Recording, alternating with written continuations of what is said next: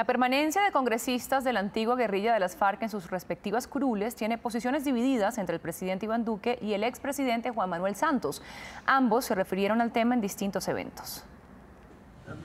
Muy temprano, el presidente de la República, Iván Duque, en lo que fue la presentación de la política de paz con legalidad para Sucre, rechazó que congresistas condenados por la Jurisdicción Especial para la Paz mantengan sus curules.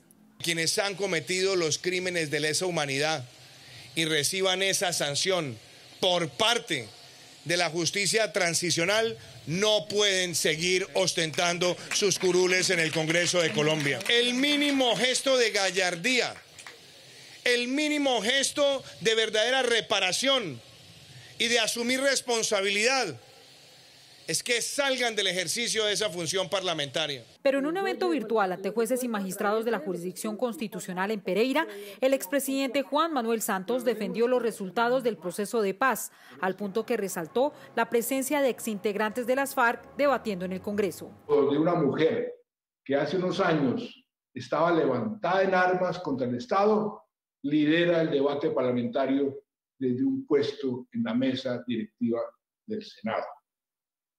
Ha cambiado, ha cambiado el paradigma de la confrontación y ha tomado el cauce de la civilidad.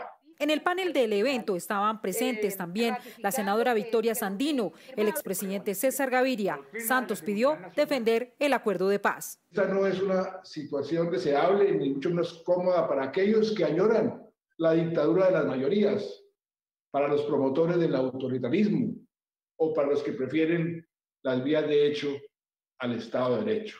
Mientras que el presidente Duque pide paz con legalidad, Santos pide a los colombianos preservar el proceso.